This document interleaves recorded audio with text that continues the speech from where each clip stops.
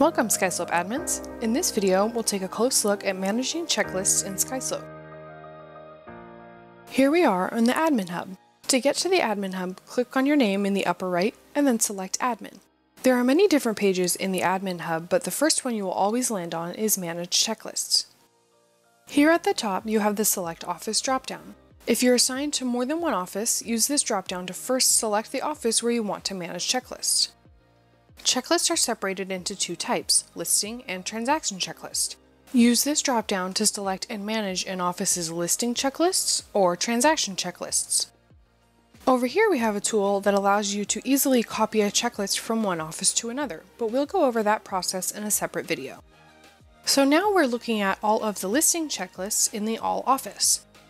In SkySlope, there are two different kinds of checklists, default checklists and custom checklists. Default checklist types are available in all SkySlope accounts and can't be deleted. Instead, they can be hidden or shown.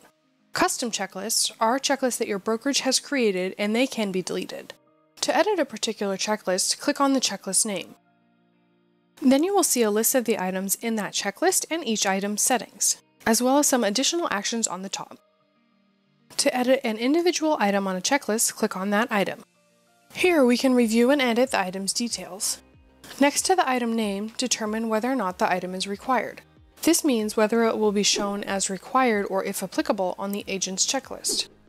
To make it not required, check the box for if applicable. Use the is active box to determine whether that item is currently active or hidden on the checklist. Alternatively, you can delete the item on the main screen. The help text section gives you a chance to provide any additional context or information about a checklist item. On the file's checklist, the agent can hover over the info icon to view that help text. Once you've completed all the changes you need to make for this item, click Save. We can see our change made here, the asterisk next to this item indicating that it's if applicable.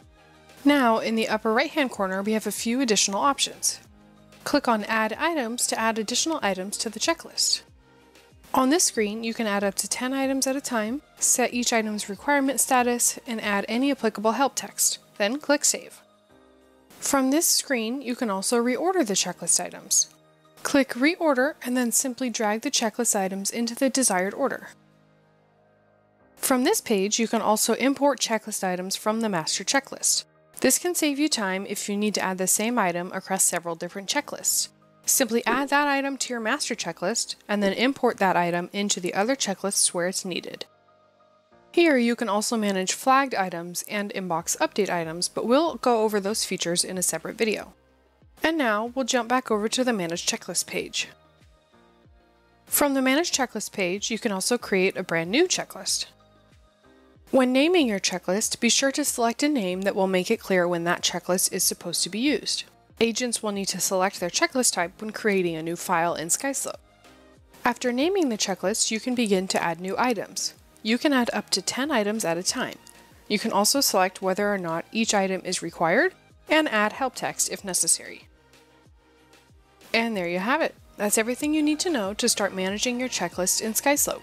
If you have any questions, please reach out to our 24-7 support team. Happy skysloping!